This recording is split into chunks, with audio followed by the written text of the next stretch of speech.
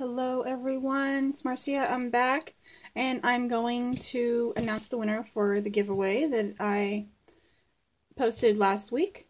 It's been a week and I want to get this out to whoever wins. So I'm going very low tech today. I don't do high tech stuff yet. It's my first giveaway. So I decided to do it this way. I'm, I'm not comfortable with the high tech stuff yet. I'm working on it. so bear with me. So I've put everyone's names in this basket. And I'm going to do it this way so I don't accidentally look in. It's away from me.